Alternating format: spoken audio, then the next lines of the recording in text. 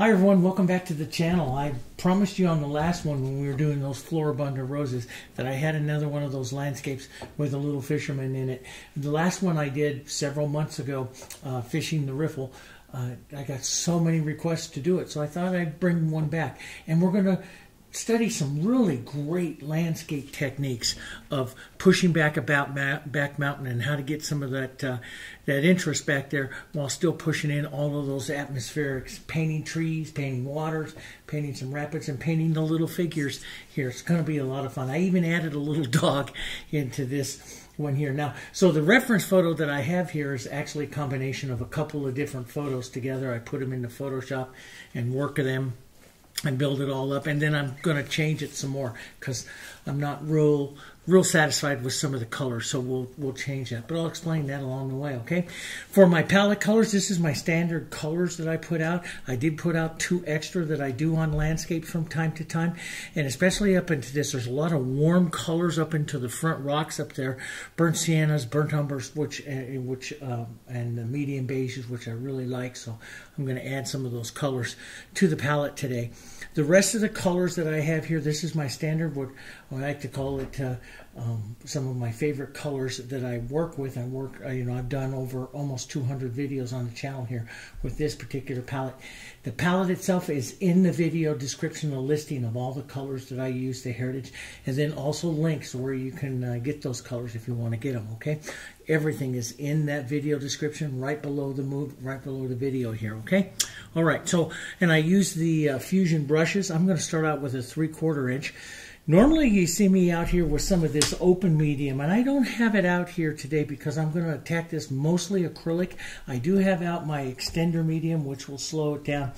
Um, it also uh, thins the colors, so I use it uh, sometimes along the way, but most of the painting today will be in acrylic, all right? Okay, so I'm going to start out with using just a little bit of water.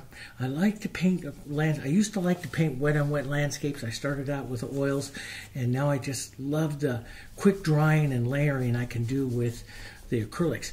So I take some phthalo blue, a touch of the quinacridone, we'll step down here and we'll lighten this up. I want this slightly to a violet here, and I want to get that value up here what I see in the, into this photo up there. Boy, that's spot on. so, but it's going to dry a little darker, so I'm going to put, I lighten it up about a half a value to a full value more.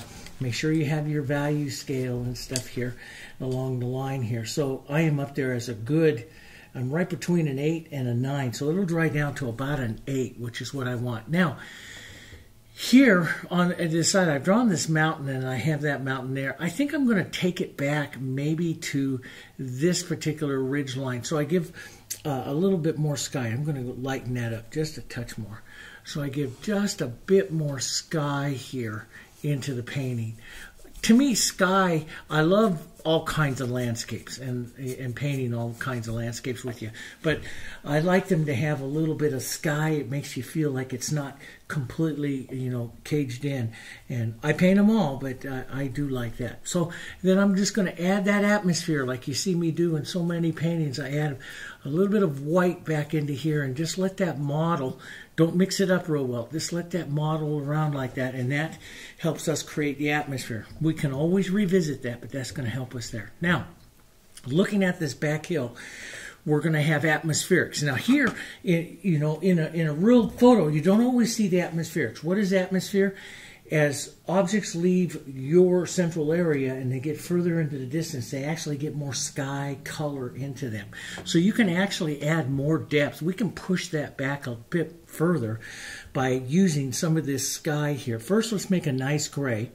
Beautiful grays come from some of that blue and that red. That's going to make some wonderful grays for some of our rocks today. And those rocks are slightly violet, so we could even add a touch of that nice um, quinacridone violet.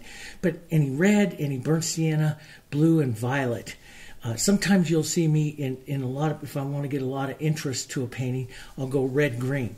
That gives you a whole other type of gray for rocks and just beautiful. And you can just model all of this together. That's the beauty. A, a beautiful landscape will carry a lot of colors into it. So, and you will see that that's pretty close. It's, I'm a little bit red, but that's not too bad. I'm going to actually add water to this here, and then I'm going to add just a touch of the sky, and we're going to have some rock faces here. I'm going to push those in.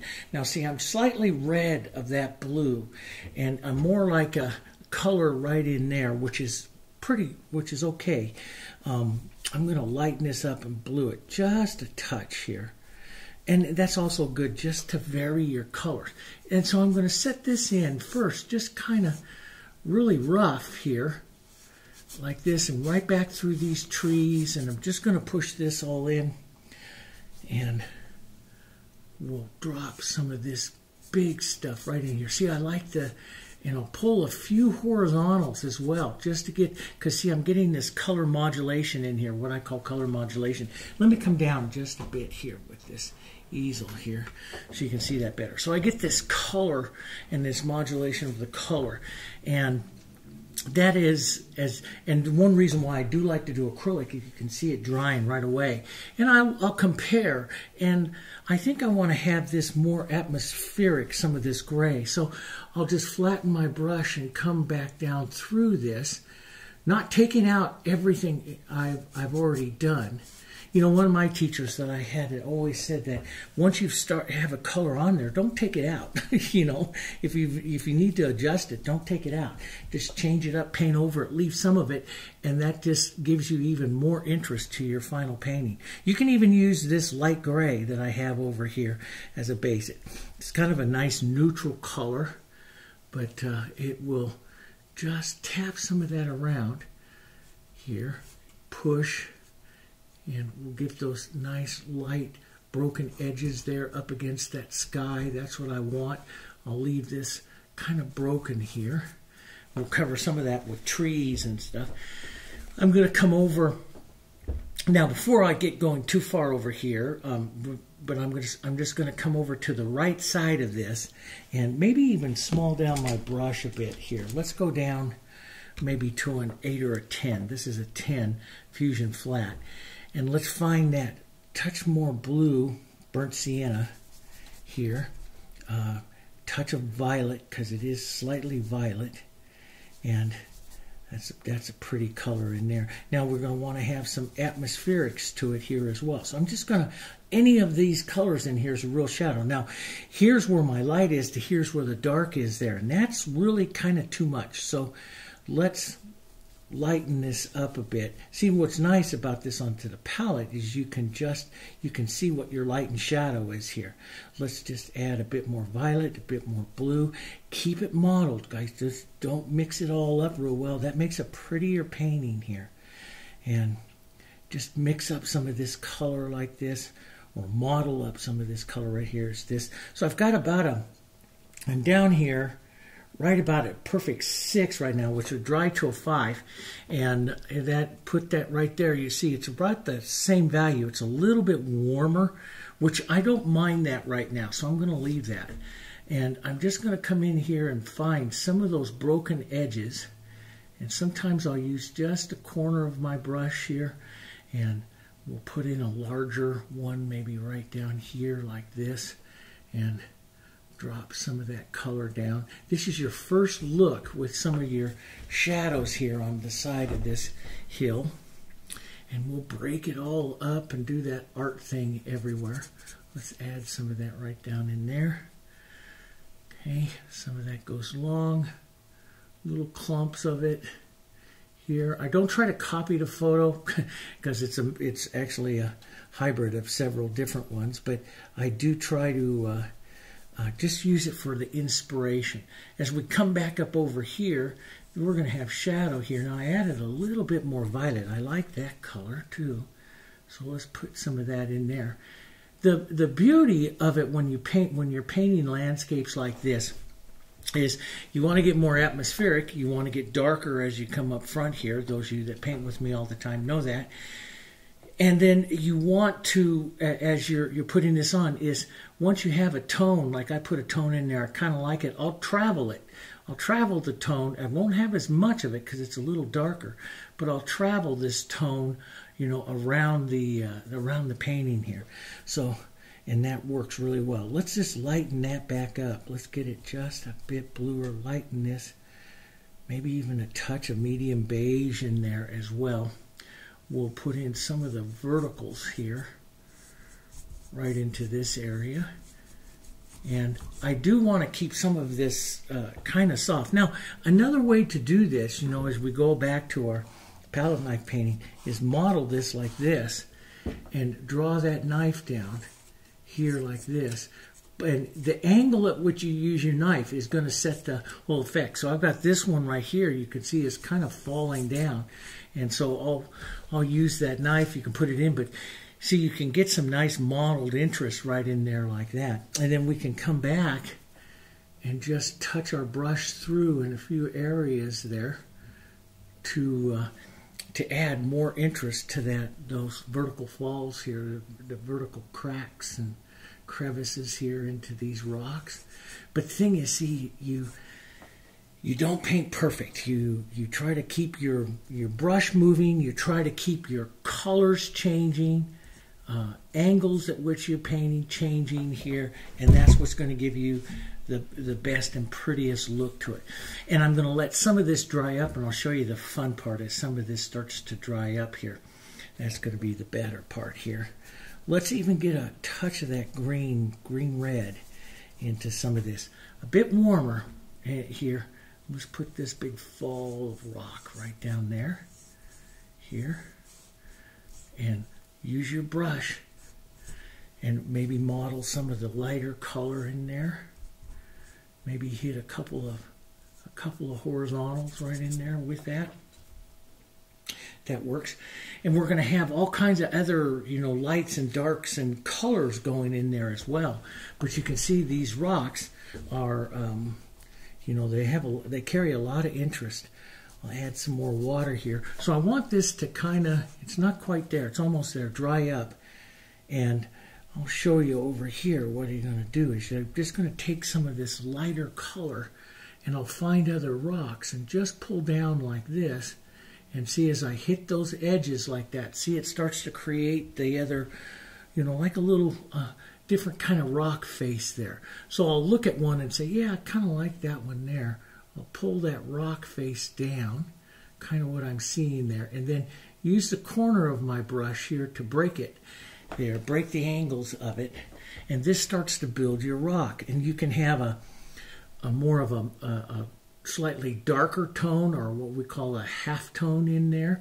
Half tone would be between the light and dark and put in a slightly receding different plane in there. So if I want to put like an edge of a receding plane of one right in there like that and then just grab some other light rock right there hit those edges with that and so you can see you start building these rocks here and it really doesn't you, you know you look at the photo and you go oh my gosh how am i going to paint all that but doing it like this the impressionistic way of it goes pretty quickly and so right in through here, we'll hit a few more little highs and lows of lights and darks. We'll then take, lighten up our, and it works the best if you let your colors dry up a bit, because then it'll drag like this.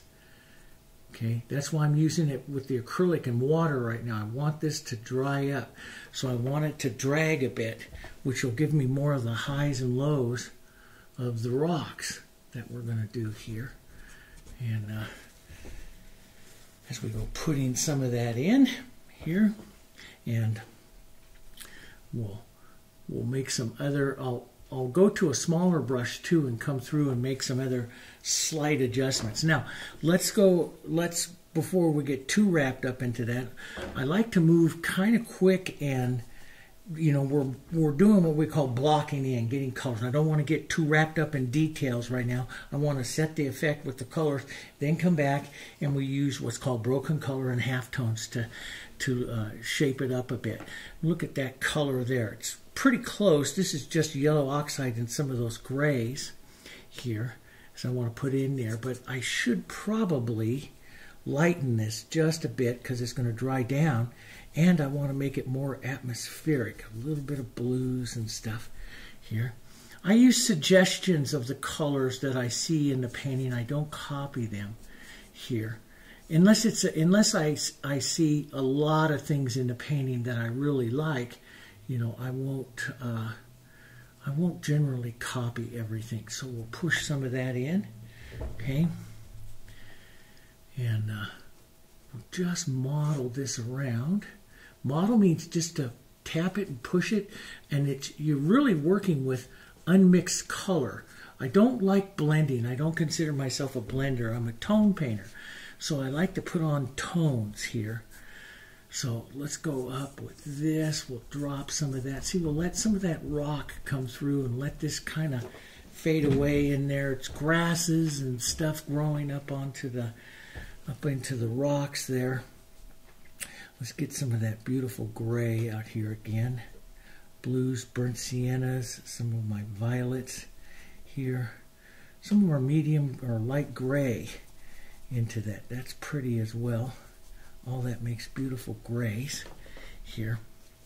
And then, so we'll use that with some of these yellows as we come in here. Boy, that's just about that tone that's right in there. That darker tone right there. And We'll tap some of that around. We'll again model it here. Model this is modeling. Don't so that when it comes off your brush, you get some different highs and lows. And I'm going to want to touch more, maybe some burnt sienna into it as I come down this way here.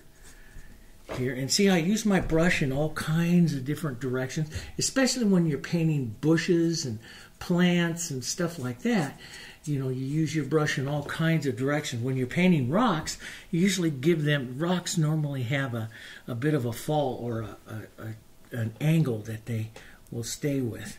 So, you know, you put them in according to that angle.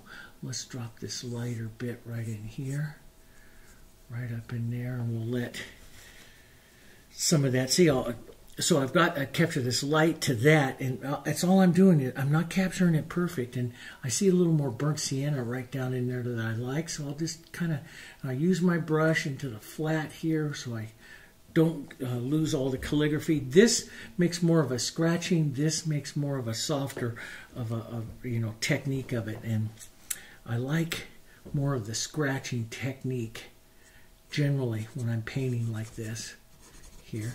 So We'll grab some of that, drop that in. This could, and see, I could take some of this lighter gray, or this lighter gray I have right over there, and come right back up in here and set a light rock.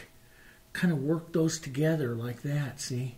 And uh, work those edges, and I'll start to refine this rock here. There's a more of a pull down one right down in here. I'll grab some of that, see? and this light, maybe a bit of that yellow with that. See if I can kind of emulate that right in there. Push hard and lift the pressure so it drags out here. Just like that. Tap those edges so it's not a perfect streak. And you'll get you'll capture some of that edge or that look of it. And you can come back a bit of dark, change the color. I'll be doing this a lot changing some of those tones. In a big full painting, this is just a small, nice study for us to paint together. Um, but in a big full painting, I would change those many, many times, those tones many, many times, and go back and back and back. Usually, I would consider this the first layer. I will do about four layers, and most of the time, getting smaller and smaller and smaller. I like what Helen Van Wyk, who was the painter for you know many years, I watched her when I was younger and um, she always say, you know, start it with a broom and finish it with a needle. And that was just amazing to me. It was just start out with these big, huge brushes and then just go in and add the final little touches. And it always seemed to work. Always worked. Beautiful painter. Let's put some light gray maybe up here like this to kind of capture that feel of that sloping area right there. And we'll grab a bit of this right up in there like that. And uh, then a touch darker, maybe some violet blues and some burnt siennas here.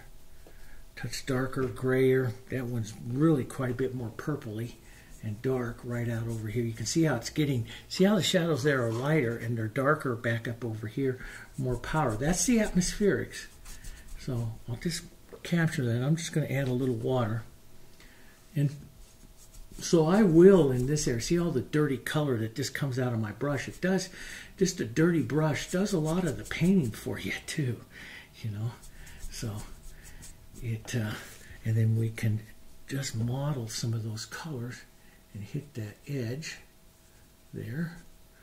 Light in, in this is coming from back around the corner out this way. So we definitely want to get lighter back over there. And I can probably push that a bit lighter uh, over there. Let's warm that too. A little bit of yellow and some whites into some of those grays.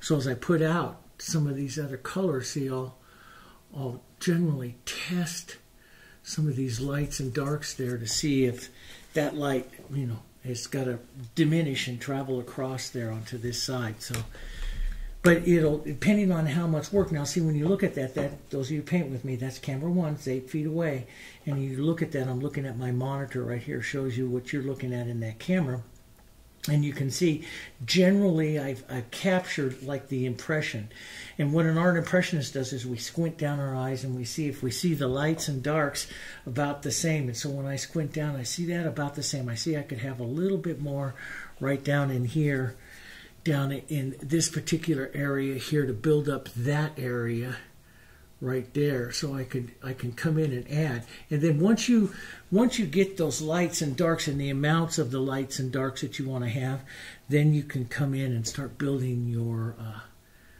um, your half tones and your tones that change up the color a little bit. But that starts it. Now, when I go to do half tones, what I do is I'll take some of those colors, I'll lighten them up, I'll change them over, maybe even add some light yellow to this. Change over some of the colors that you use. Don't use them fully. Just, you know, tap a little bit of that around up there. So, see that little light? I'm seeing just a tiny little bit of light right in there. And then I'll sink that light in, maybe a little burnt sienna and some green into that and I'll paint back into it like that see? And that'll add a lot of interest to it. So this is what I I talk about what we do is we set the foundation then we come in and we break it up like this. We break the colors up. We call it broken color. So we break the colors up. And how much you do as an artist is you know how much details and stuff you do in your painting which is wonderful. So you know you can start adding some of those colors. I can put a touch of yellow green right into there and see i'll just start dragging some of that across. I love these brushes for doing this. I just have to lay the brush down and it'll do a lot of the work see i can drag over some of that gray and start putting some of that model color in there and I can start building it to look like that. Does that make sense?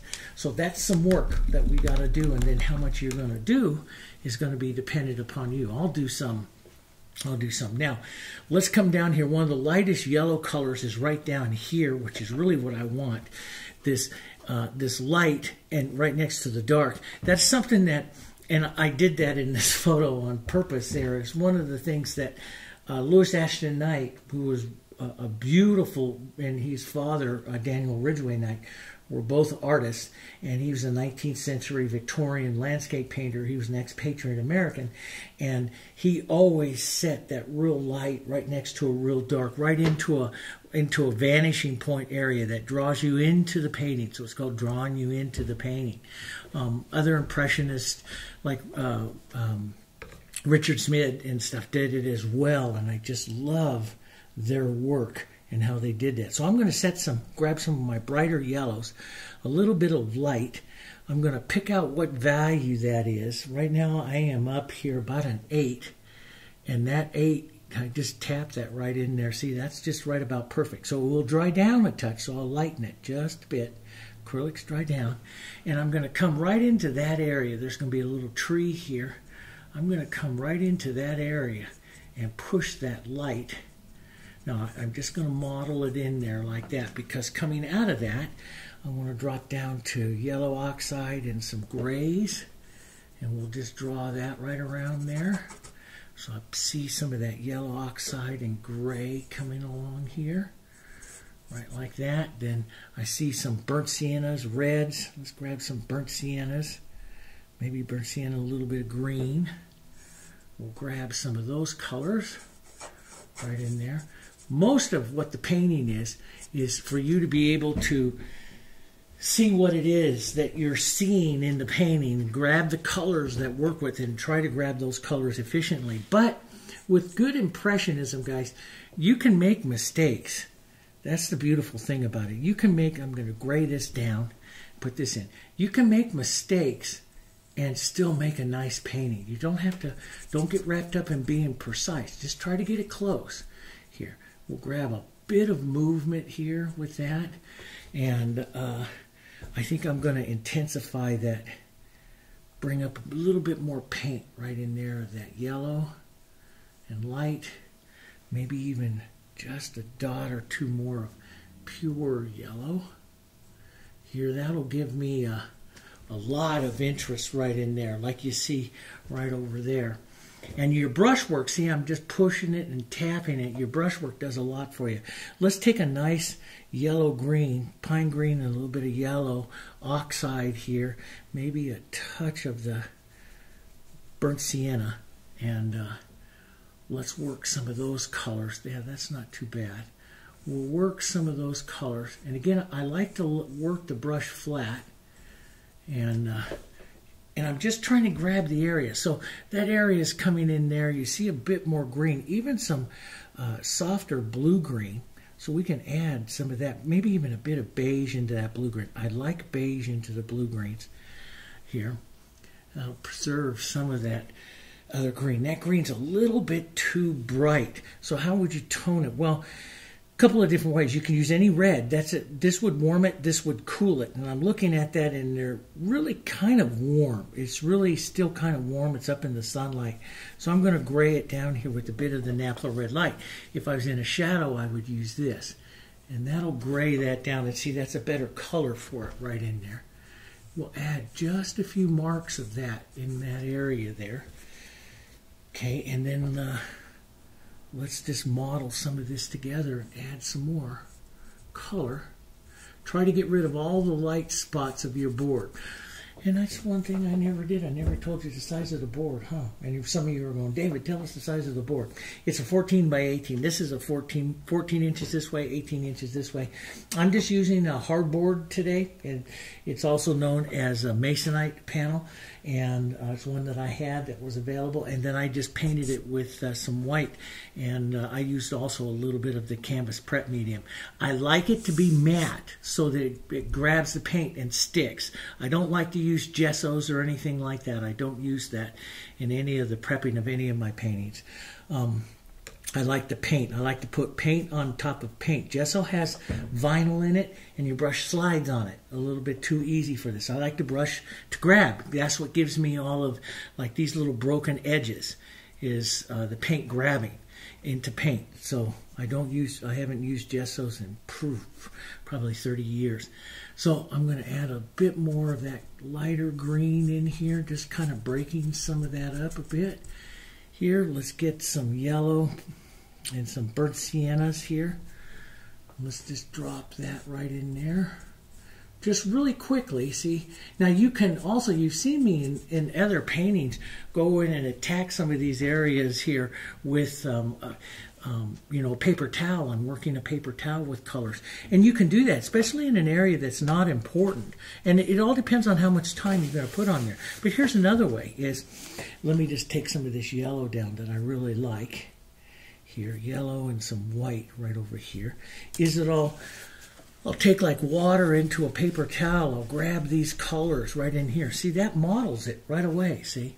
And you can just pull those colors around, especially down here where I'm going to have this light, and you can just lightly base them in like that.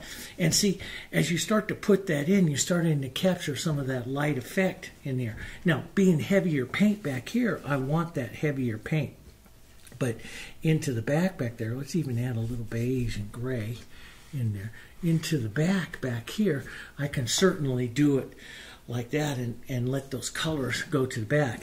And I will probably want, we'll let this dry up a bit more too, but a little bit of blue, a little bit of sky coming right back up through here as well. It's going to help us with our our atmospherics, which is what I want.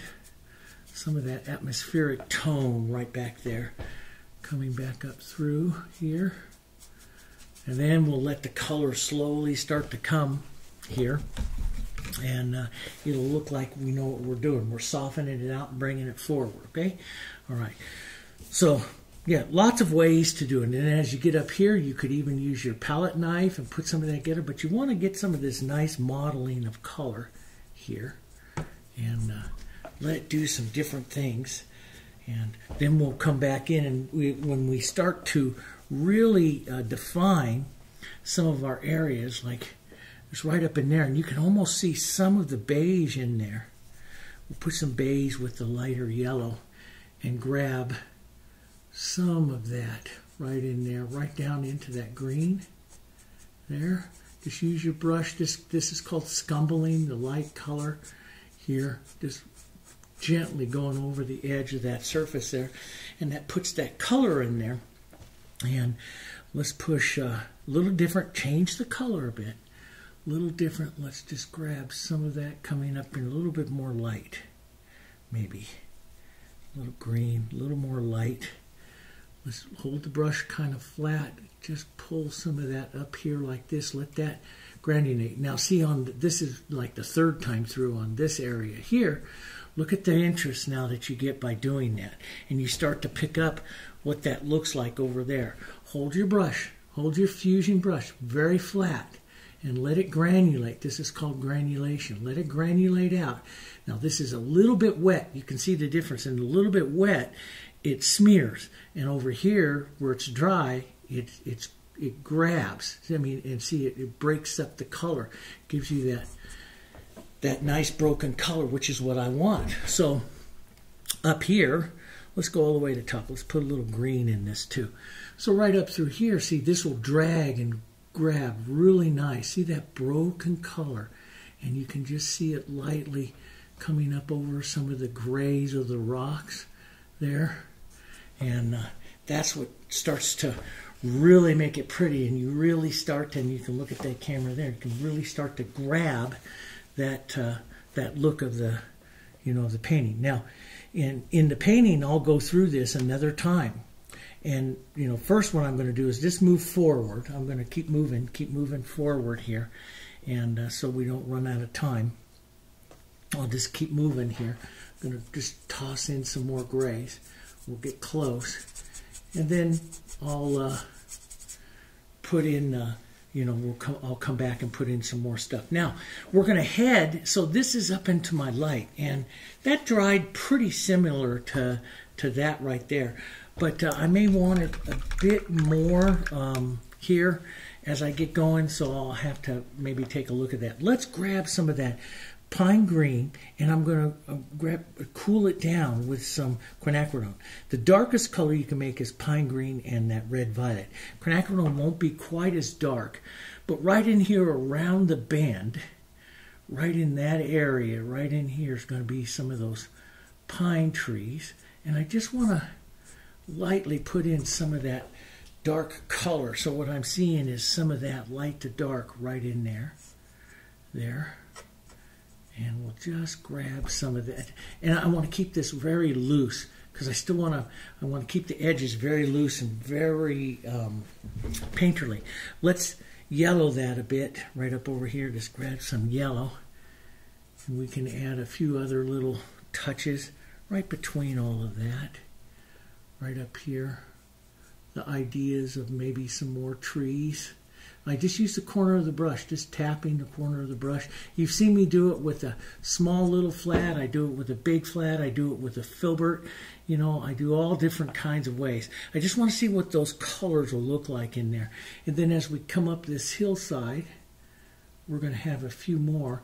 The hardest thing for me, I'm a left brain painter, the hardest thing is to make them all different. I tend to make them all the same. So that's just habit of the left brain. We just want to line them up like little soldiers here. So I'll push one right in there. here. Some of those little touches, like those could be up there on the back hill. Smaller, change the tone a bit here. Change the color, change the tone. Right up there will be some here. And these aren't done. These are just, this is just to give me a little impression of some of the, and the trees. Now we also want to use good, um, what we call linear perspective. So we'll have bigger trees. That's what's going to help us with our perspective. When you see a big tree there and then a medium-sized tree right there, you know it's uh, that other one is further back. So we want to be able to grow that further back. Let's come right in here and add a few of those right in there. We'll add some nice uh, horizontals here. Then we'll come in and add some uh, nice, excuse me, add nice verticals, then add horizontals. I guess I should probably get it straight here just to give the impression of those particular trees. And of course, we're going to add lights to them. So, and we can do some of that right now. Light yellow, green, pine green, and some yellow oxide, and light right in through there.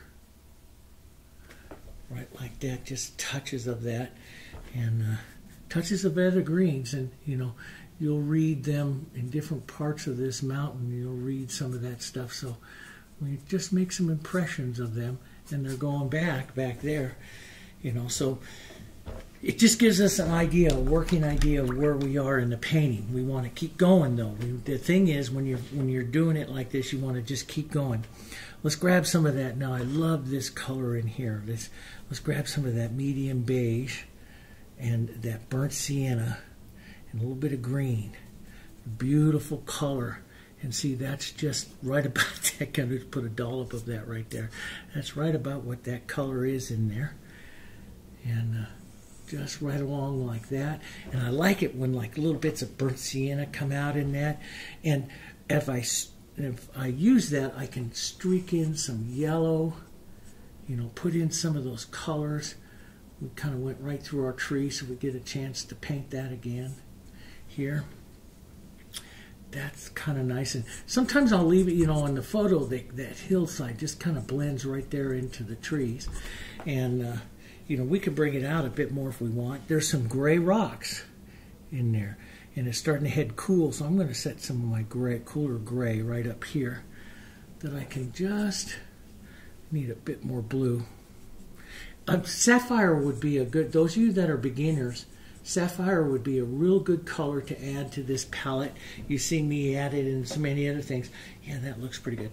You see, yeah, Sapphire would be a good one to add because you can make some beautiful mid-tone, mid-value grays with Sapphire really easy. With burnt siennas and reds and everything we're doing. It's a lot easier to handle than uh, phthalo blue and some of those grays. So let's uh, just model a touch of the burnt sienna in there. I like to leave uh, some of those streaks because that gives the direction of that little hill there, see? Now let's let's just restate, since I took some of that out, we'll restate uh, that tree here, right down there by the water's edge, right over there like that one of this right down, right down into the hillside there a bit. Just, and we'll do some more. I mean, this is this is just our first look. I'm going to come in and add some more and break some edges and do some stuff. This will just um, give you a first look. But see, one of the things is like you go, okay, Dave, the tip of that tree there is not very good. see, I don't worry about that at this point. But uh, what I'll be able to do is once that's completely dry, see, I'll just take a value, not even close. I mean, it just has to be close. Model it up into my brush here and paint back into that tree, the edge of that tree and I'll paint my edges back and forth. That's the, the secret. And when you start to read other, you know, wonderful masters in the art, they say the secret to painting more than anything else is uh, edges, is working your edges. And it's so very true, guys. It is so very true. The edges. And see, so I'll control that edge, not only positive, which we mean with the tree color, but I'll control it negative, with which we mean the background that's around it. So I'll be tapping in and, you know, adding a few little greens and stuff like that right into that area, controlling that edge, looking at that edge, controlling that edge, and uh, that's what's going to give me more, even more interest. And I can control slopes and stuff like that if I decide to do that in there. It's just a whole heck of a lot of fun, but I'm constantly thinking when I'm doing that of the edges, the edges of things that I'm painting. Is it a blurry edge? Is it a nice, you know, found edge? You know, thinking of those those particular edges. Now, before I leave this area, I'm going to come in here with just a bit of grayed violet, blue violet shadow mountain color here. A little cool here. Maybe even toss in just a bit of that. Here, let's see what that is. Could be just a touch darker here. And we'll add just a few more shadows here. Um, so we have that big one there. We'll add just a bit more now that's a little blue for that, but it's closer to what the mountain is. Could have a touch more violet, and even add a little bit of green, which helps get rid of some of that blue here. And uh, yeah, see that's a better gray there. And then we'll pull down just a bit, a couple of fraction marks there pulling down there. We'll push that one in. This one can be broken up touch more. And see, see that fracturing I get now that the paint's dry. See, it just makes it like rocks there. You can pull that over and just fracture that down and vary the, the type and the length of the, of the pull that you're doing with your brush and that will um, help you. Then you can come in and add smaller dark touches, little blue touches and stuff. That's what the impressionists would do is we just break look at our edges here maybe fracture them off a bit you know we want very uh, broken what we call broken edges broken color broken edges and stuff there. And so you can see there in building that we start to really get a, a pretty good look there. Now but let's keep let's keep going. We got a lot to do on this painting and stuff that I want to show you. So let's come into some of what I want. I want this into the shadow. So right down in here, I want some of my darker color. So I'm going to grab some of my blue and my uh, red violet. This is one of the darkest colors we can make on the painting. I'm also going to add a little green, which will tone it down just a bit. And right in here, right along the edge of what that water is going to be. This is where I really want the viewer to come right in here. I'm going to push down and I'm going to let sometimes the green, sometimes the violet come out a little different as I pull across. I know it's hard for you to see and the camera can't always pick that up, but it's going to pick up some of that deeper shadow color right in there. I'm just going to add some water to this to thin this for just a moment and boom, right like that. We'll let that shadow, we'll do some, uh, we'll do some uh, reflections into the water there. We'll pull down here. There goes my little guy, but that's okay. Now as it comes back and you look into here, this, uh, and into this photo and stuff here is a little bit more violet, a little bit lighter, a little bit more violet as it's coming kind of out of the shadows there. And I'm going to do this with multiple colors because I want a lot of interest and stuff in here. But so I'm just going to pull some of this across right now. This is just going to give me something to uh, to put some color on. And I don't like to work the rapids and stuff like that too much wet into wet. I know there's a lot of people like to paint with the oils, and I did for years as well. But I like to now work these colors in dry layers and uh, it's uh, it works a lot better for the things I like to do. Let's change that up just a touch blue here, and I'll, again, like everything else, I'll go over several times. But I want to set in the, the feeling of, uh, of the water here. So it comes out and across. It's going to come into this, this violet right into this little area because he's in the shadows, so just a touch into the shadows here. And there's going to be a little dog right there. It's going to come out this way just a bit. Down into the I'm probably going to go to my big brush now, three quarter inch. We'll warm this up. We'll get some of the reflection warms of some of the colors from our rocks and stuff like that because water is the color of everything around it. So we'll warm this up right in here as it gets to that warmth. So it's going to be really picking up the colors of the the rocks and stuff around there. And there's some beautiful uh, burnt sienna and green here.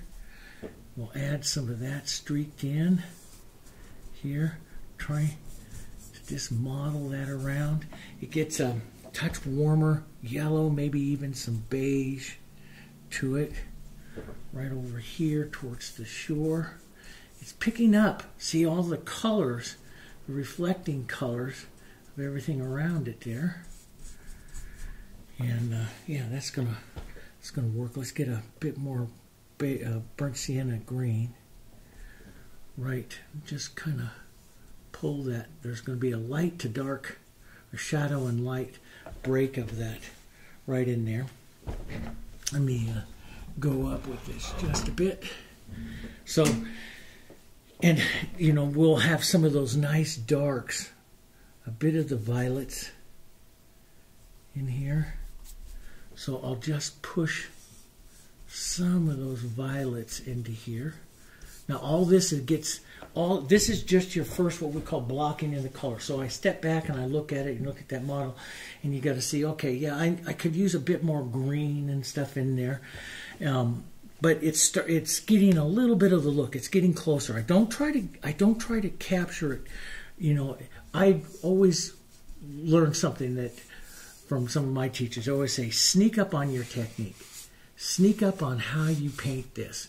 Don't don't jump right in because uh, you know if something's off, it can really throw your eye off quite a bit, and and uh, you'll lose perspective for it. So you sneak up on it little bits. Don't expect it to be perfect with its first one or even two layers. Now let's go back to that light sky. Back here, violets lights and very violet here. Some quinacridone, some blue. Let's get that. It could go a bit lighter. So we're going to get that right up in here. We'll just walk that right up into this water here. Right around my rocks here. I'm going to have some rocks up in the front. All the way to the edge, even though there's bushes and stuff there. I'll take it all the way to the edge there and we'll just streak this in. This is why I like it, so it won't blend too much after that starts to dry. I'll just streak that color in just like that. So as I come to this edge right here like this, I'm just going to lift the pressure on my brush and just stroke it through like this. And that is what takes those colors together. They're not blending together. I'm setting the blue right on top of the other colors here. They look blended, it's what we call optical blending. Your eye is blending it because how far away you are with it. And uh, that's just going to help set some of that in. Now you can see I, when you, after I've got this on here, you can see, yeah, I could go, um, you know, a bit uh, more of a, a green. I'm going to rinse that blue out because it's still heavy in my brush. Could go a bit more burnt sienna green here in uh, that front up here, right up and through here. Yeah, burnt sienna green, a little bit more green. Could have just the tiniest, tiniest touch of blue into that here. And let that, if I get too much streaking, I lift the, the angle of my brush so that it starts to uh, um, smooth it out a bit. This really granulates it. This really smooths it out. So I'll just look at that. I like some of those colors going in there like that. Um, and get some of that violet kind of color back out here. Just see, let those let those colors kind of work in there. It's just, and it's a foundation. It's the foundation of the, of the color that we're going to use everywhere in this painting. So it sets that. Now, let's get that uh, burnt sienna, some red and blue here. Nice dark. Nice, nice, nice dark. Heavy blue here. That's going to be the dark shadows here of our rocks up against the edge and I kind of did a little sketching of some shadows there. We want those shadows to kind of come together. This one's going to come down here. This little guy's going to pop off against some of that. Big deep shadow here. Down this side, little cracks and crevices of shadows, stuff there. And so that's going to help set that, and it's going to help bring it this part forward too against that light sky shadow. Shadows come forward. Let's model this with some of the greens and burnt siennas, and we'll just. And I want to use a lot of paint here. You can see though, it's kind of that transparency. See the different colors coming off of my brush. Now that's very important. And you know, if you're following true, um, you know, alla prima and painting, you know, uh, we tend to paint shadows more transparent and highlights more opaque. So leaving some of that transparency like like that coming through is beautiful in that shadow and it does a lot of painting for me. Even though it's a little this is a little bit more violet, I would probably leave that because that's a pretty good look. Let's just let's actually add some water and thin that out right up here. Do the same kind of thing. Some of these rocks up here, just kind of grab their mark here of where some of those shadows would be here. Now that, yeah, that's that's pretty good. This is all kind of a bump here. See some of that you just push that edge. See a lot that can that can actually do a lot of your painting for you. You know when you just use that. That's the one reason why you look down here at the palette. Don't don't work your palette too much. Don't play your palette because that really does a does you a disservice as you're trying to uh, you know get some of the um, colors in. You know, you want those colors to come off and model, you know, a little differently.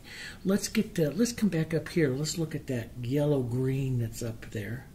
Grab some yellow, some green, some beige, maybe a bit of this shadow color because it's cooler. So a bit of the violet because it's in shadow. And let's just pull that right across here. Now, since this will be, and this side, even though it's in shadow, it is kind of a light, I would generally do those more opaque. So I'd come back again. We'll do that a bit more opaque. Let's just pull a little more color.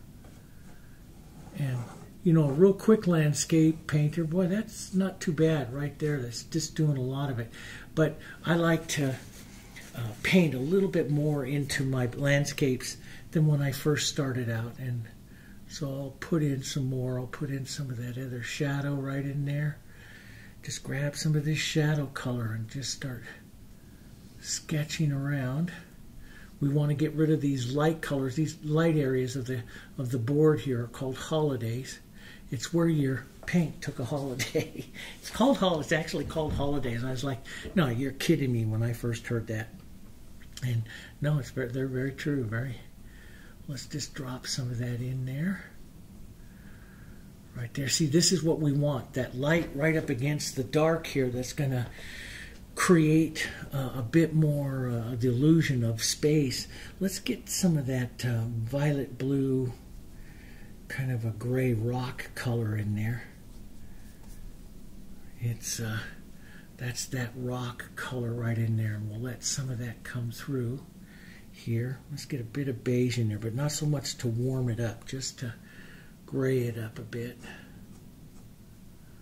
just some touches and marks of it there there we go just to say we did it. I do, you know, I do like what John Singer Sargent said all the time: paint with as large a brush as you can. With that, and because that just that causes you to use all different kinds of angles of the brush and everything, and it really does work really well. So I'm right in there. Let's model that color a touch different here. So add a few more different tones to it so it comes out different and you hit it again. And you're going to want to work on getting, so even, I don't even mind that blue coming out there. But you're going to want to work on getting rid of these little light spots that is going to damage the effect if we're not careful. So we'll work on getting rid of those here. Little colors in between here. See, you could do that, pull through, and that'll just look like a little rock face there. You know, and I, I just so like this. I mean, there's a lot of, of, beautiful, beautiful realists out there that just do so much, um, you know, work, and they make it absolutely real. And we're what? We're 56 minutes into this painting, and we're capturing a pretty nice painting, I think, uh, for what we're doing by uh, and, and, keeping it kind of quick as well. You know, um, yeah. This uh, I I used to for years. I was such a realist, but it just took so long. You're tacking it with a small brush and everything. You make something that's really real. And I'm not saying anything bad against that. It's just that now in my position, I'm like I like brushstrokes, calligraphy, movement. I like it to feel like a painting, and uh, but when I, you know, in those years, I wanted it to be just like a photograph. Now I want it to be like a painting. Yeah, we all kind of evolve, I think, you know, as artists. Our, our likes and dislikes, I'm not the same person I was years ago. So let's put that in there. Let's just grab just a touch or so of that right back out there.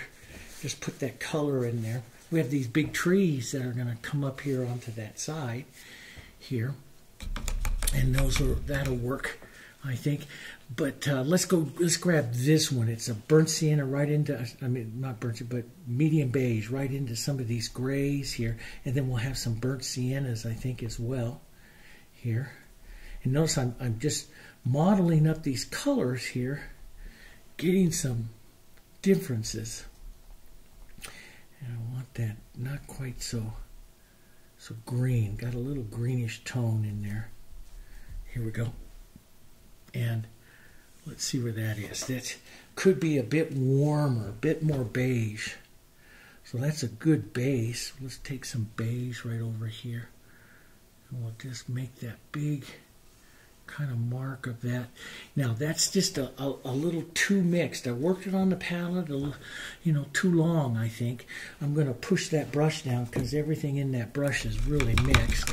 So I'm going to go to a smaller brush grab some light. Let's come over here with a bit of yellow into that. And uh, it's super wet, so this will blend a bit. So I'm going to have to come back on this after this starts to tack up. But I'll get some additional interest here just by modeling some of those colors together here real quick. And uh, I do want to capture that light plane, and then there's kind of a burnt sienna plane there first. So let's cap before we leave that, let's capture that lighter plane right down through there. Capture some of that. You can't see how it blends really easy. I don't want it to to blend. So that's why I love to do this. See, that's a, a real blended as opposed to that real draggy look right up there. So, and that's because it's so wet. That's why I like to do the acrylics and let them dry. It's a different look. So I'll just be careful there. And a little burnt sienna, maybe some of these greens and stuff into that burnt sienna right up in here. Break that rocky edge there. Tap some of that around. Bit of that gray in there. See, that's the broken color of it. You'll get some of that gray, some of those other colors right around in here. We'll pull down. This will be a lot easier once this is dry. It'll be a lot easier. And we're going to take some of it, and sometimes I'll do that right now, and I'm just going to do it right here with this, is right down below into the water there. I'm just going to push a little bit of that color, which will be the reflection of that rock. And then I just blur out the edges there like that and that just helps you see it just uh, you know a little in that in that particular area. So we have some of the trees to put in here some of the rocks to put in here. I'm just going to come in here and, and model in some of these trees get some of those areas in some of these rocks right up in uh, this area here. We'll go up a bit more here.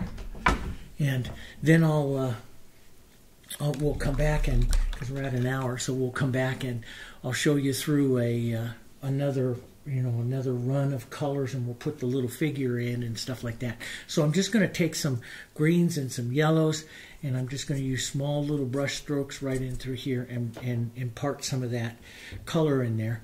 And oh, let me just show you. As you go around the corner up over here to the water, now if you're following somebody, a really great painter like Louis Aston Knight or Daniel Ridgway Knight, they would go back to the light color of the sky. Uh, this photo here, you see it because it's just not quite completely in light. So you see it slightly darker, and so a little violet and some of the mountain colors and stuff are in there. So let's just push in this around the corner color of the water here. And uh, we'll leave that rock kind of there. So the water's going to come around the corner, picks up all of these lovely greens and yellows. And that's all I do is I look. I'm not trying to, you know, capture the color completely. I'm just trying to capture the effect of, uh, you know, these colors. That's what I love. I love color. And see, this is what I like. I'll drag that right there into the blue like that and just, and see it just, it creates a shimmer of it because this blue is all dry. Creates a shimmer of it, which is fantastic. It's a lot better than just blending it. You just, it's all with the pressure of your brush. You know, you've got to learn the pressures of your brush. And you can do fantastic things with acrylics. You know, the scumbling technique, the pressures here. We'll just drop this whole area right in there and uh, just take some of these rock colors right out here push it together there like that as that water is going around the bend there and uh, that shadow could be a bit more dark and pulled down right in there. We'll take care of all that. We'll go in and specifically paint some of that area in there with you so you can see that. I'm going to want some brighter little green bushes and stuff here right along the shoreline there. So, boom, we'll just just block that in real quick, just like that. And we'll turn that all into fantastic stuff with our next layer, okay? So give me a minute, I'll block that in, I'll block in the rocks up here, and uh, then we'll come back and we'll paint the little figure and start some of the other little detail. And, you know, I've got some more work and stuff to do everywhere, but you know, you don't need to see all that, but this will give you an idea. So give me just a second, and through the magic of video, I'll be back in just one second. Hi everyone, welcome back. Okay, I just uh, put in just quickly some different greens, some burnt siennas and yellows, and uh, you know, it's cooled off just a few hours with a touch of red violet and stuff like we. I haven't put in any of the small details there. I'll let that kind of talk to me, tell me whether I want to do it after I paint my figure and stuff like that. Um, I did lighten this up one time after it's dry, and you can see the more mottled color that you get when it's dry. It's pretty nice. And I painted the rocks down here, three planes, a light plane, a receding plane, and a shadow plane just with some of the rock colors that I have up there. Plus, I'll let sometimes a little bit more burnt sienna and stuff come out. Okay, so let me make sure we can get up there. I'm going to add just a couple of small areas here before I get to the figure, and I'm going to um, adjust the colors in here before I get that figure. Before we go paint the figure, some of those colors have to be a little close because we don't want to do too much adjustment to that figure. I want to paint him very casual. But uh, first I want to put in these trees. Now the pine trees over here, you're on the shadow side. So, um, you know, you, you're, you're basically looking at cool colors. Now I want to do them not... Uh, I'm going to use some pine green, some red violet. This is going to be really cold really cool. I'm going to gray it just a bit, even with some of the gray. Sometimes I'll, I'll um, even add uh, sky color and stuff to it. I'm going to use my number six. This is my old. You can see it doesn't even have a chisel to it anymore. and all the paint's off of this. this. This one has painted hundreds and hundreds of pine trees for me over the years. I like it because it doesn't do any edges perfectly. And I'm going to just kind of draw down and just use kind of the, the what's left of the corner of the, the brush here a bit and put in a couple of the the trees that I want, just the idea of the trees here. Let's go a little higher with that one. And uh, down here onto the sides and then we and make sure you pull them down different lengths into that hillside there. And uh, maybe one more kind of right in here. The thing is, do them different uh, different heights and stuff. You know, sometimes, you know, in real impressionistic ones, I'll break it and tap a little bit up at the tops of those. That just gives a, another little broken edge. Then we just want to, we're impressionists, so we just want to, uh, you know, don't go back and forth equally on each side. These are, you know, I mean, pine trees that grow into the high mountains and stuff, they usually have a windswept side and a side. Sometimes they're heavier on the, um, you know, on the lee side, the, the side that doesn't get all the wind, and then they're really thin on the wind side. So they start slightly up and then they start coming down.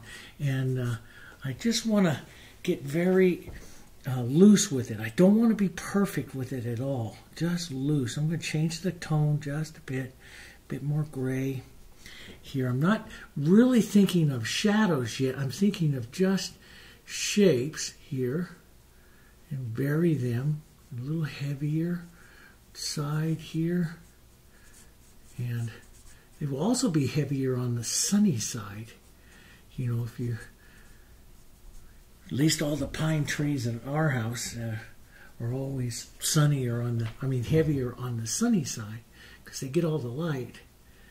We'll just push this out a bit and, and then they start to fall down down through here, and we're going to get real heavy down in uh, down in through here. Now, see, right now they just start looking like little soldiers, so I've really got to loosen them up quite a bit.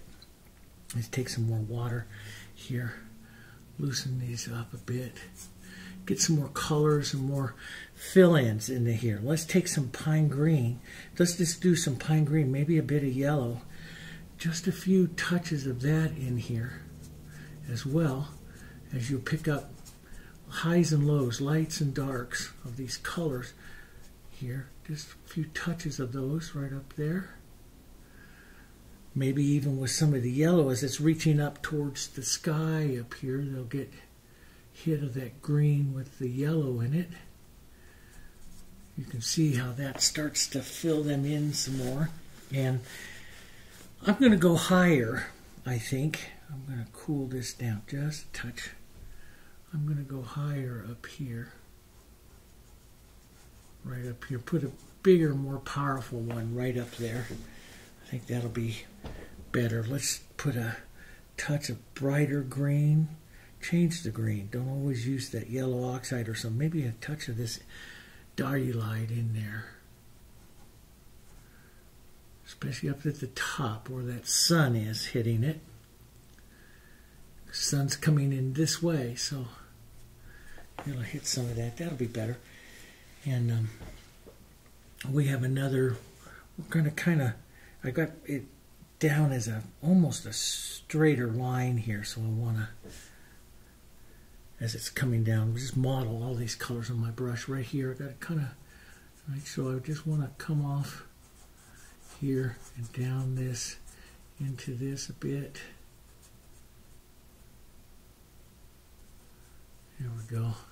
Down like that, filling in that tree. And uh, then we're going to put that um, another one slightly cooler right in there. So you see how I do this. This is, uh, don't need to spend all day doing this kind of stuff. And we'll just tap and push here, get that one out there. And there like that, kind of fill in that area there. It's nice. I got it over a little bit too far left, but that's okay. It's my painting. it's okay. And I'll put a touch of the lighter green hitting on that one, just a touch. There, let's just hit.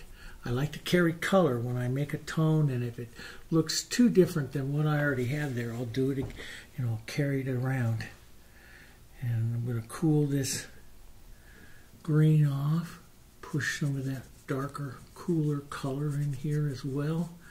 More of the mass here. There we go. Because we're all on the shadow side, see? And any kind of shadow would come right up here to the rock. As a matter of fact, you can see that rock. This is all real good shadow right down like that. And that rock, let's get some of that uh, medium beige right into some of that green, maybe a touch of yellow, a little different color, and just drag that edge, very broken. See how that nice broken color comes when those acrylics dry up. That's what I like.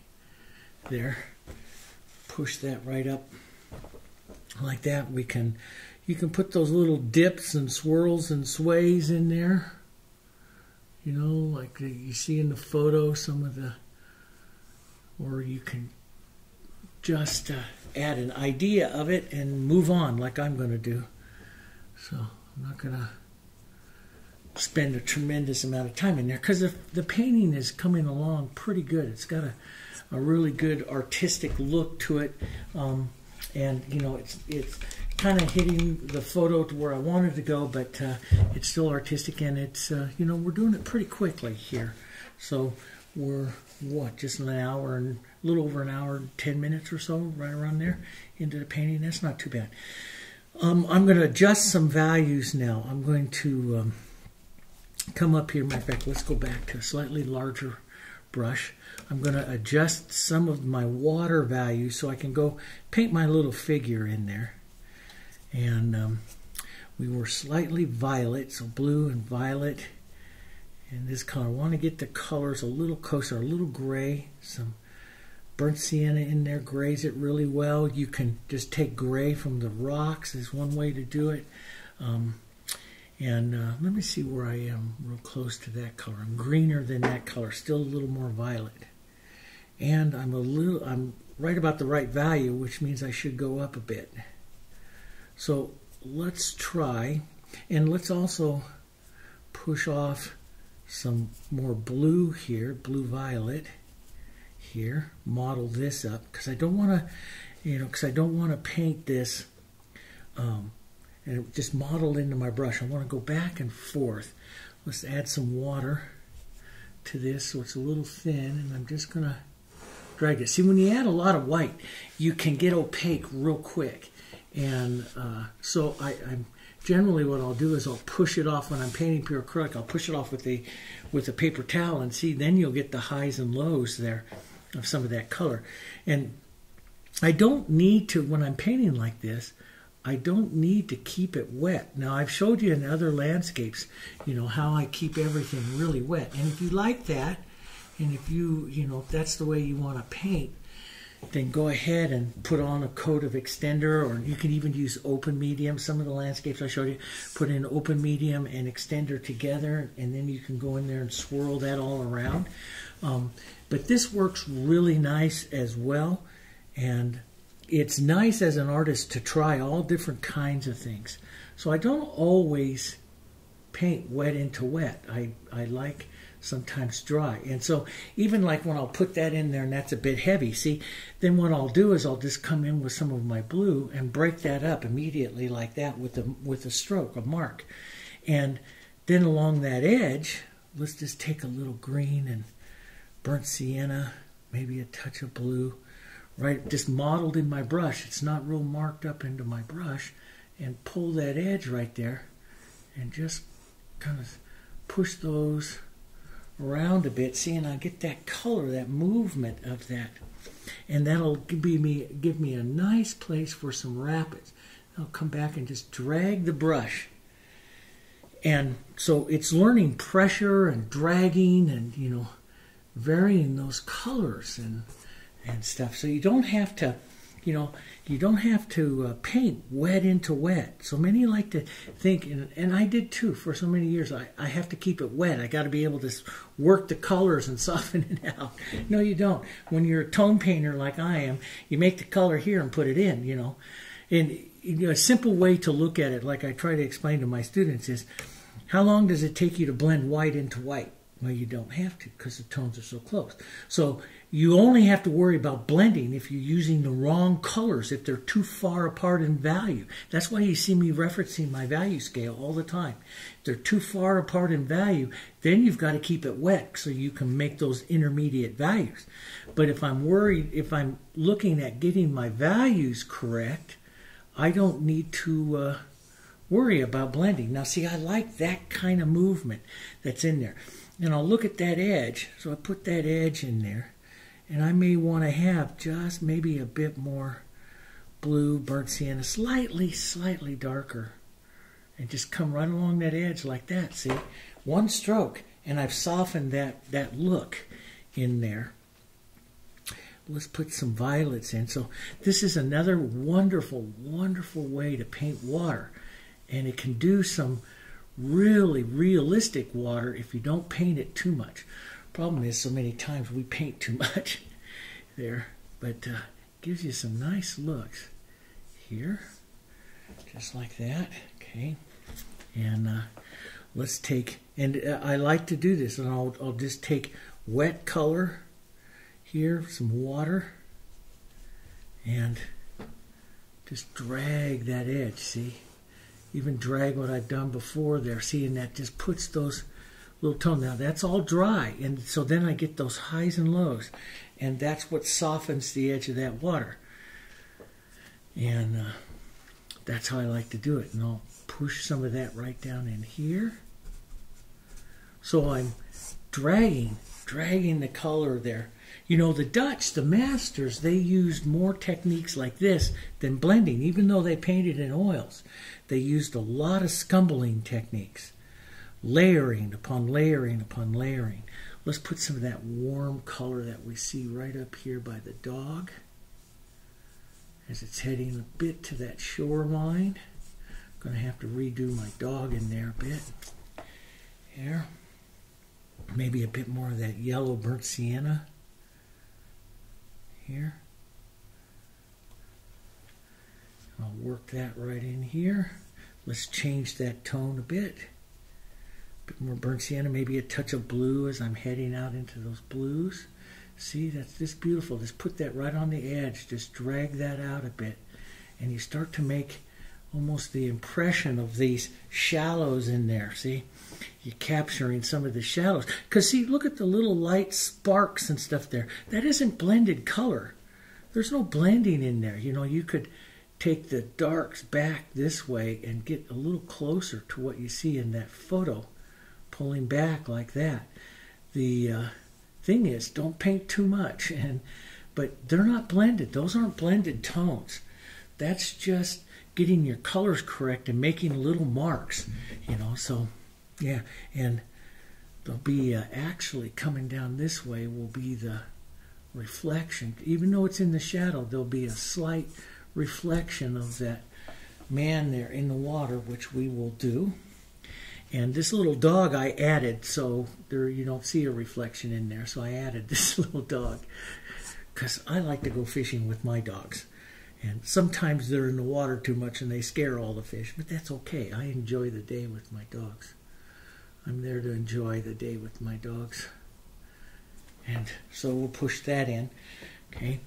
And um, yeah, let's put some of the movement here. So here's my lights. Now this is where you may want to add a little extender so to keep your colors wet here for a moment. Just so you don't have to constantly redo stuff. I you know that's that's up to you and I will I don't mind to do it. But if you you know just kind of tap it like this you don't want to get it real melted. See that's water see? As long as you don't uh, you know uh, mix it too much that's water you see? Now, you put that on and see, look at the, there back over here. There's some more light white water back up over here. And I always like I, I tell you in so many of my paintings, I paint too much and then I take out what I don't like. So I'm going to put on too much here and then I'm going to negative paint back through it and change the tone a bit. Maybe add a bit of blue into there so you get some different colors here out like that. Just a bit, okay? Now, I'm gonna I'm gonna clean that color out of my brush for just a second. I'm gonna go to a violet tone, a lighter violet. Just gonna make this slightly lighter violet. Maybe some of these other colors in here. And what I'm gonna do is just have a little bit of it in my brush, and I'm gonna paint back out what I don't want. So see, I'll push, I'll wipe my brush, push here. I like that, so I'll paint that right up into the motion that I want that to have there he's going to be fishing this little riffle here. So let's actually get a little darker color. Bring that riffle down like this here. Right down. A little bit of color movement there. Right in there. And so you can go light or dark depending on how much contrast you want. I'm bringing this coming down slightly. This is and just tapping and bringing it right in there. This is really fun. I just love this part of the painting. There was for many years I couldn't do this. I would get so stressed about moving water, and it's and it is when you're a young painter. Don't worry, it, it gets better after about you know two or three thousand paintings. it gets better. No, it does, guys. It really does. It just takes practice. But I used to stress on water so much, and now, because I always thought, oh, I had to paint exactly what I see in the photo. No, you don't. Now, see how I just break that edge? That's all I want to do is take this lower value, break that edge, take out some of that highs and lows of that water there. See? And I'm just going right between the two colors that I have, just tapping through there. And yeah, that's what's setting that look of that water in there, see? And works so easy here. There we go. Let's push some of that right back up there. Some of that color. Oh, there's a big rock back there I gotta paint. Gotta put in. You can come back and put some more light in. You can edge with more white and really get those light riffles in there. You know, just this is what I like to do is I'll edge or with it. See, I can roll over and into that white if I want or push it back out. This has a little phthalo in it, so it's kind of neat. Just light, light butterfly. Just imagine your little butterfly just touching that. You can push or you can take out there. I took out too much, so I get to do that again. Oh, I like, kind of like that little bit of light right there. A bit more that's in the painting. So if you want, if you wanted to get it closer to that shadowy kind of thing that there, it's in the painting. Let's take our blue and some violet, push that in our brush, pinch wipe it so there's just a little bit of it. Paint down into it from the shadow to the light and take out what you don't need and now you've got you know just what you want on there you can tap through a bit to make it more bubbly there and uh, yeah that works. Let's um, quickly put that little gray rock on here. Right back there. Maybe another just take some gray. That's just a real quick little gray. Let's go back to my smaller brush here. Little burnt sienna, blue, nice gray. Put in the shadow or the receding tone there, right along the water. Then we'll take some blue and burnt sienna some more, or you could use red, you know, depending on uh, how much contrast. And you want to change that tone up too, you know. Put a bit of the shadow in there, like that. And then I usually come back and hit those tones again. Right back in. There. Let's put that lighter plane of that rock. So a bit more light. Just model up some of your browns and drag that light. There. My thing is, you know, that's another left brain thing that I'll start to do. I'll start to make both those rocks the same size. So I got to be careful. I'm going to increase the size of this one. I'll, I'll just start doing that. This, this is a habit that I have. Even, you know, like I tend to make things even. So it's a habit that I have to watch. So I'm going to make that one a bit bigger. Here. That's good. And uh, get some of that gray in there. Maybe that one could be a bit uh, smaller here. And get back to just a bit of that shadow. There. Okay. Yeah, that'll work, and I'll, I'll paint up some more in there. The dog is just going to really be dark, and that little bit of light that you see in him and stuff there. But um, I'm going to come in, take a smaller little filbert here, you could use a fil. You've seen me use before. I've used filberts. I've used small flats. I generally don't use rounds, but you can. I'm going to set this in here. I'm going to take some medium beige. Um, I'm going to do the. I'm going to paint when I paint the figure, like you see we were doing before. I paint the light, the dark of the figure, and then I come back and paint half tones and little touches to it.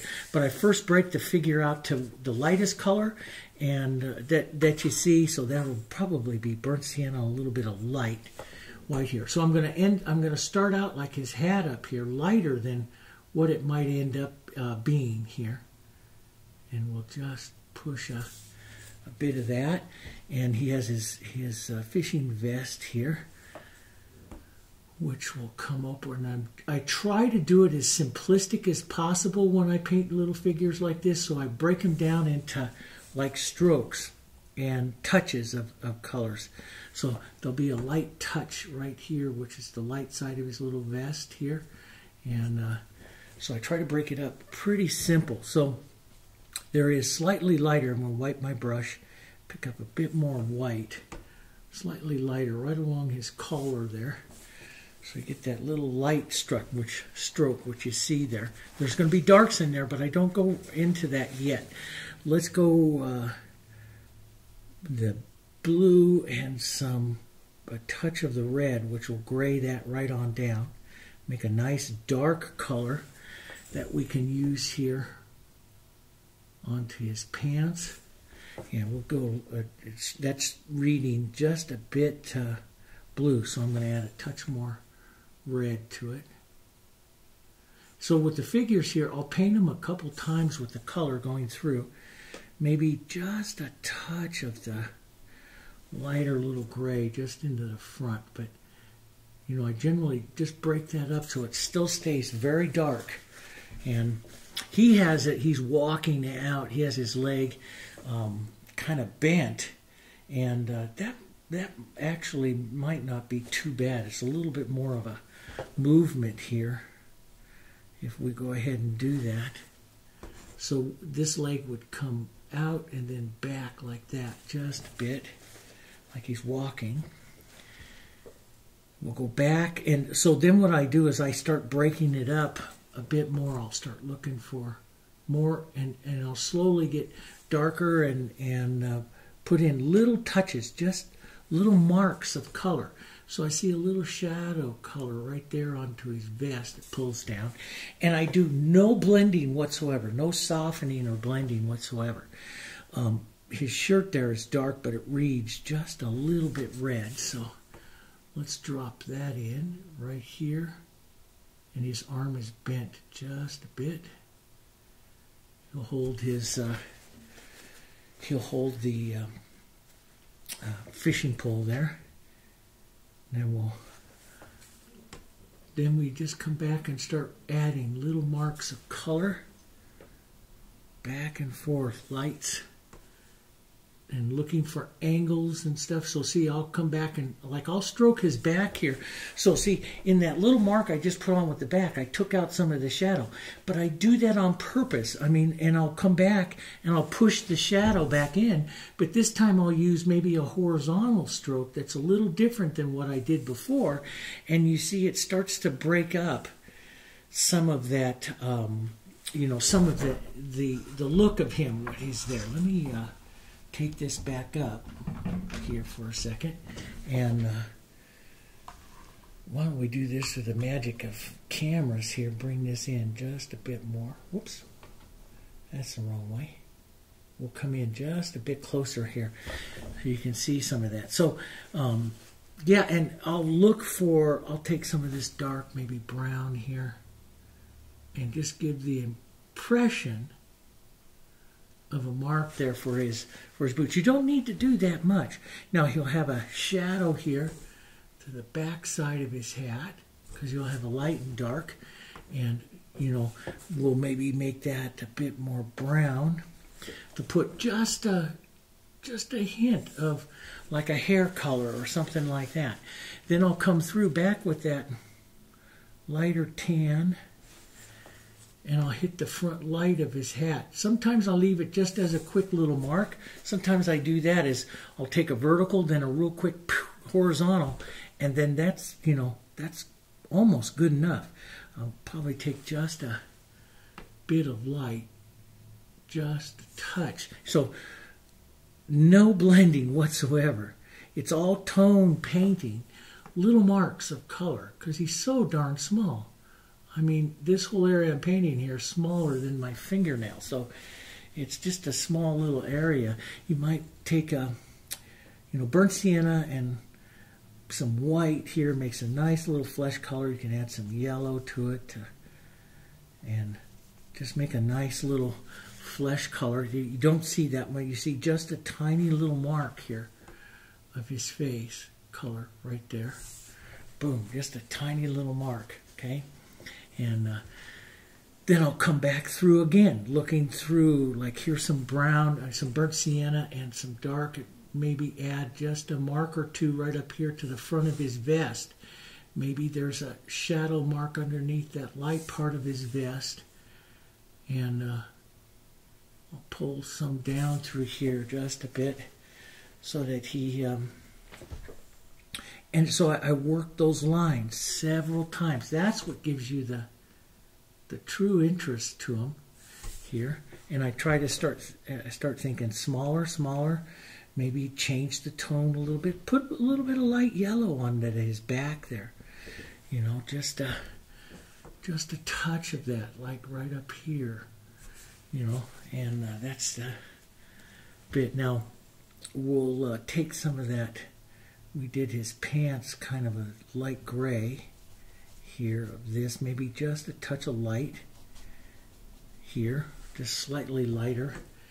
I hit the angle for like the back of his pants there, and then maybe uh, we'll we'll play artistic license here and lighten up a bit more, maybe the front of his leg there, maybe even a touch more just think of where that light's going to hit. And so sometimes, you know, it'll hit here on the top leg more so than the the, the, the back edge trailing there. But um, I sometimes, you know, the artists, we're artists, and we'll take and we will uh, expand those colors a bit. You know, we will do a little more than what you see. So I'll do that. Maybe put just a touch of that light there for his hand. And I'll break up edges, we have some of this light that can maybe hit just a touch there onto his, um, you know, onto his uh, shirt there. But you can see just real quick painting like this, this just does so much. I'll take some of these grays and I'm just going to pull down right into that vest there one more time. Maybe uh, and this is what I'll do. I'll go back and forth several times with the colors till I get him closer to what I like here. And I'll get a few tones in there. See, and I paint too much, and then I take down And finally, after back and forth, back and forth, back and forth, get him the way I like. And so you can see in there, he's coming out about the same amount on that camera. About the same amount, but I could have a, a bit more to him. Just real simple little figures. He's just, I just, I used to regret, you know, dread painting little figures. I was like, oh God, how do you do that stuff? And uh, now I like it. And so I'm going to take some of this gray, blue gray. See, on, as I finish up, you know, I'll take some of the negative paint, some of this rock around him to make some areas, the parts of his hat a little better here. You know, I'll do it with the, now I got that brim at slightly the wrong angle compared to what he's doing there. And his hat, it looks like Hoss Cartwright here. It's a little too rounded at the top. We want to give him more of a Australian hat. Here we go. We'll take the burnt sienna and light here. And uh, touch in and see this is kind of a big brush to do this, but you can, I like to do that, get this that edge and it's, uh, you know, more impressionistic. That's what I like. And then I'll pull that angle this time down slightly. That's a better angle for him right there. Of fishing the riffle. Now that shoulder, can you so you can see, even though he's a little figure, I'll put some work into him. I'll push that back. Push that light edge up there just a touch lighter. This front corner. Now, and as you build paint on it, sometimes it gets hard to paint there. So, um, you know, because you get so much paint on, you gotta let it dry. I have just that little bit here, and then I'm gonna call him here. You just take this out. This arches back a bit more. I'll do it with the water, the color of the water, which we still have to put a bit, you know, I want to come back in here add some more going on. But see, I use the negative painting of like the water and stuff like that to, uh, to uh, you know, fix him up and stuff. And so you can see I need to get some more of the water, just a touch lighter, I think. Um, a few more things. Water a little bit lighter. That's better. See, I like that where it blurs those edges. There. That's better. And I'll, I'll do little touches like onto his hat here. Little touches of light, even though he's kind of in the shadow here. And then we'll just use the, uh, this is a little soon for this because I still want to put some edges and stuff in there. But we'll put his pole in here. And I'll end up, I, I want to do it very broken and I'll use just a chisel edge here. And if I get too much or too much shows up and stuff, then I will um, I will uh, paint it out with the water. Let's just try to do it just a little bit here. There, like that. And so the other thing that you can do too when you're working a small line like that, since everything else is dry, just take your, your brush now with some water and lift back up into that pole and that'll help you set the line of what it is that he's doing here and you can actually scrub back here in and pick up that that uh, color a bit here so it starts to thin it out more to a line but I like, you know, for me, I like to do it with scrub back with some of the water, the color of the water, because that breaks the line just a bit. And I really like the broken lines in color and painting here. So we'll scrub back just a bit. And I'll, see, I'll break that line, just touch it, makes it more, you know, more, uh, instead of being a perfect line, it makes it more casual there. And then put his little and little things make a difference here. So let's just take the um, burnt sienna and some white and put his hand and stuff right back on top here. So, and I'll probably come through and just fix up his uh, his hat and his face. There you go. It picks up his hat and his face there one more little time, and uh, but I've got to let it really dry really well. And I want to get, you know, I, he comes off really well right there, which means I've got to get a touch more light right up around him up here in this area, and I'll thin this out. Thin out some of my grays that I used here with some water. Let's back paint up.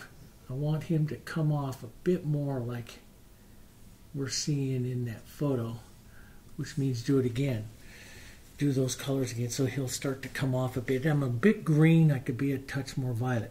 But this is what I'll do now is I'll start to refine this and I'm going to come back through some of my colors, some of my edges here again one more time and uh, you know, maybe put another 20, 30 minutes into the painting here, just fixing up some of that little stuff, doing the same thing, dragging the edges, doing that kind of stuff, adding in some of that light, and we'll come back, take a final look at it, okay? All right, I'll see you guys in just a little bit. Hi everyone, welcome back. Well, I've been working on it for about 20 minutes, so I figured that the entire painting here is going to take about two, two and a half hours, somewhere around there. Is a, is a good is a good call for this type of painting, um, and I can put a little bit more. What I did was I was just working on some of these bushes here. I uh, put in the dog simply there. I'll probably maybe add just a little bit more. Um, I added just a little more color in through here, a little more color in through there, and I'll probably bring this out one more time. But I just wanted to show you, I, I show you this in the Westerns.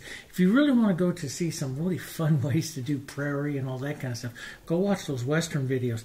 But we can use things like this. This is an inch and a half, just a little uh, a China bristle cheapy brush and you just take some of your yellows and your greens you don't mix them up real well. And sometimes I use the corners sometimes I, I, I spread these out so you can get a, a, more of a you know a nice loose airy feeling.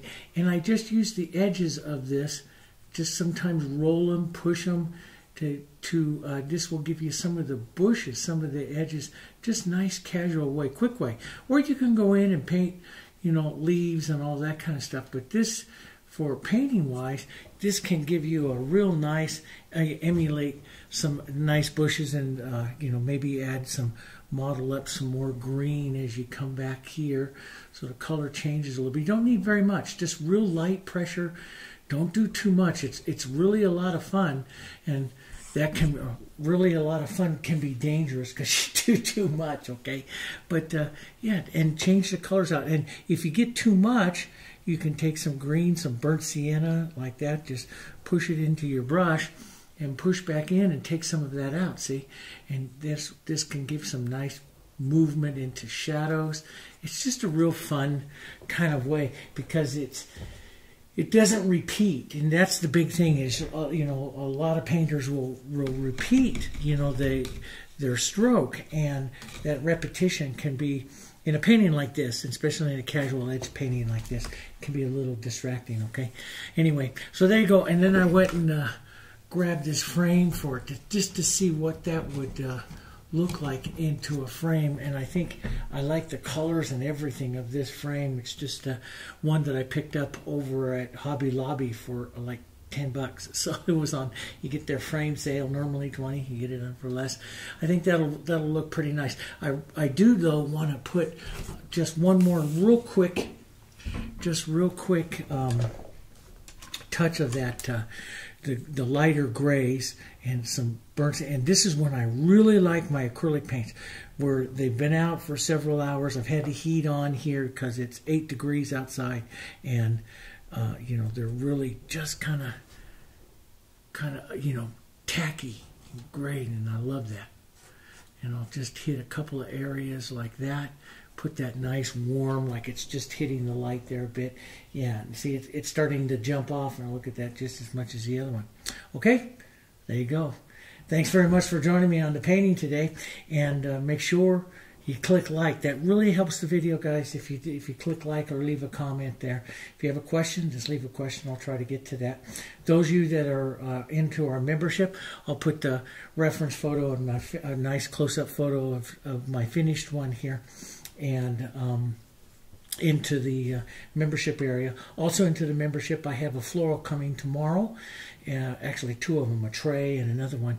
And so watch for those. Those of you members, watch for those. They'll be in your membership, um, in the membership video thing. So we're going to continue some of our floral studies over there. Okay? All right, guys. Hope you enjoyed it. I had a great time with you. And I'll see you uh, on the next one. Okay? Thanks a lot. Bye-bye.